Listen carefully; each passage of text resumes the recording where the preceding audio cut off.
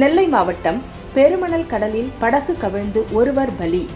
நெல்லை மாவட்டம் பெருமணல் கிராமத்தைச் சேர்ந்த செல்வராஜ் என்பவரது மகன் ரூபன் மற்றும் அவருடன் மூன்று பேர் சேர்ந்து கடலில் இழுத்துச் சென்ற படகை மீட்பதற்கு படகில் சென்றனர். எதிர்பாராத விதமாக கடல் சீற்றம் அதிகமான காரணத்தால் படகு கவிழ்ந்தது. இதில் ரூபன் உட்பட மூன்று பேரும் கடலில் மூழ்கினர். பின்னர் பின்னால் வந்த படகில் இருந்தவர்கள் மூன்று பேரை மீட்டனர். ரூபன் கடலில் மூழ்கி பலியானார். பின்னர் இது குறித்து கூடங்குளம் கடலோர காவல் படையினருக்கு தகவல் தெரிவித்தனர்.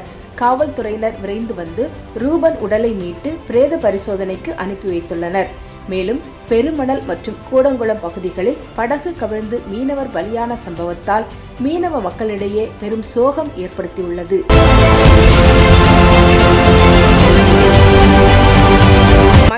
செய்திகளுக்காக விஜி பூரன் சிங்.